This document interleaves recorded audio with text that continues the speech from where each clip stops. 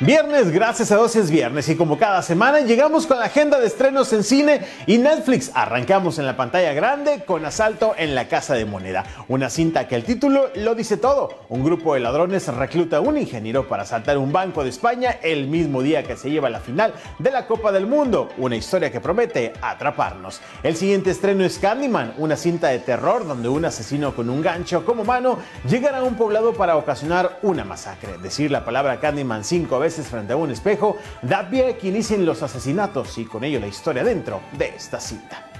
Una familia en apuros es nuestro tercer estreno, una comedia que nos cuenta la historia de Paul Virgil, quienes acaban de tener un niño el cual imaginaron que sería una tremenda bendición para ellos, sin saber todos los problemas que el chamaco causaría entre los abuelos de ambos lados. Vámonos a la plataforma de Netflix donde también hay estrenos y empezamos con Clickbait. Esta es una serie de suspenso donde ocho puntos de vista aportarán pistas prometedoras sobre el autor de un terrible crimen. Nuestro siguiente estreno se llama Remodelaciones de moteles. Dos empresarios hoteleros buscan expandir su imperio con la renovación de un viejo motel, pero la llegada de la pandemia les complica todo el panorama. Finalmente, las formas antiguas. Un periodista va a su tierra natal, Veracruz, y ahí es secuestrado por lugares convencidos que este está poseído por un demonio. Es la agenda que tenemos en esta semana y yo lo veo la próxima semana.